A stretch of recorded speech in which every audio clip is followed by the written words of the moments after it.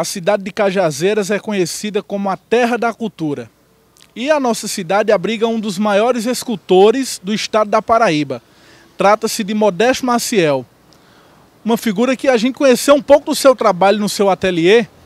Inclusive o nome do ateliê é o Ateliê Arte, onde abriga várias peças de artesanato, até mesmo peças que foram criadas pelo mesmo. E a gente conheceu um pouco do seu trabalho e você conhece também com a nossa reportagem da TV Diário do Sertão.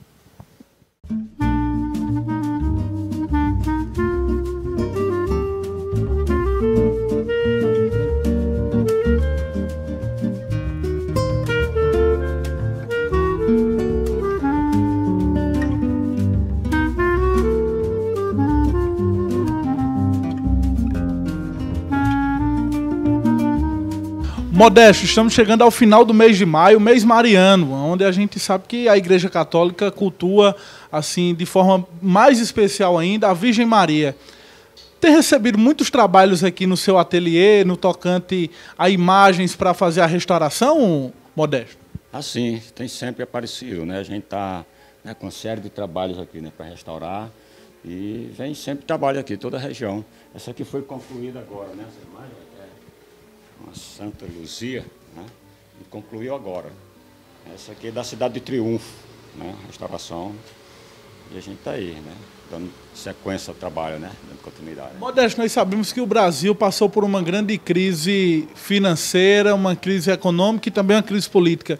A crise afetou também a cultura, vamos dizer assim, o seu trabalho aqui em Cajazeiras? Assim, no geral, né? Mas como o nosso trabalho é assim, independente, né? Nós a gente sempre aparece, não, não, não afetou tanto, né? Tanto, tanto quanto assim não, né? Sempre aparece. Eu tanto faço a, a, a, produção né, dos trabalhos, como também faço as restaurações.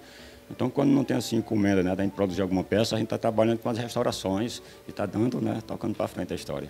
Inclusive, cidades de outros estados que fazem parte do Brasil procuram o seu trabalho aqui na restauração, até mesmo na fabricação de peças. É sim, com certeza. Sempre vem aqui do Pernambuco, Ceará, né? Sempre essa região toda aqui aparece, sempre os trabalhos aqui para gente, tocando. Ultimamente, qual tem sido o trabalho que você tem se focado mais? É mais na restauração, realmente, né? Assim, a criatividade assim, quase não está dando tempo, né? Assim, a gente tocar assim para uma criação de uma peça, porque a gente está sempre atendendo solicitação dos trabalhos das restaurações, entendeu? Modesto, eu acho que é uma pergunta difícil para uma resposta difícil também. Qual foi o trabalho até hoje que mais chamou a sua atenção e que você guarda detalhes na sua mente?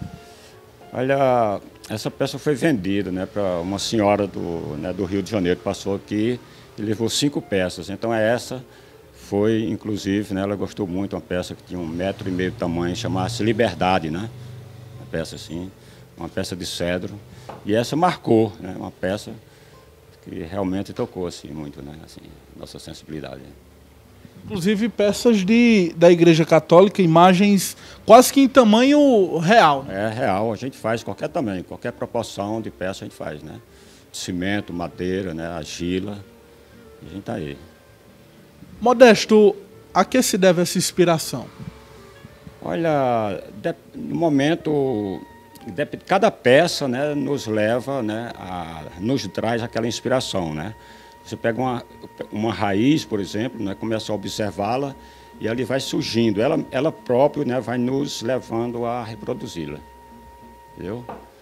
Aí a, a gente se inspira muito na realidade né, do dia a dia da, da sociedade, né, do ser humano, as lutas do ser humano para sobreviver, tocar história. Então isso nos toca muito. Eu retrato sempre né, essa, essa história aí. Né? Modesto, algumas de suas peças remontam a troncos de árvores, é, a próprias raízes. E eu pergunto, aqui no sertão existe uma cultura do agricultor em fazer aquela chamada broca, que é retirar todas as árvores para fazer o plantio da sua roça.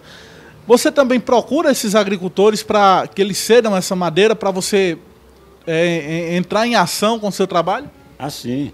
Sempre né, nas queimadas aí eu, eu vou lá né, e observo aqueles troncos né, que foram queimados, gastados né, pelo tempo. E ali a gente reaproveita, né? Dali começa a surgir a arte, né? A gente reaproveita a madeira, mesmo ela já estragada. Essa que está boa, né? Essa que sugere as ideias realmente. Inclusive você agora também está fazendo a restauração de um presépio, né? Já pensando no Natal. É assim, então né, o padre nos trouxe aqui um presépio completo para a gente restaurar as peças. São peças antiquíssimas, né? E a gente está dando um trato nelas legal. É algo realmente que chama a atenção pela, pelo trabalho, né? E muito bonito. É muito bonito, é uma peça antiquíssima, né? Um estilo bem barroco. Então a gente vai dar o trato nela. Foi danificada aqui, né? Uma peça aqui, olha.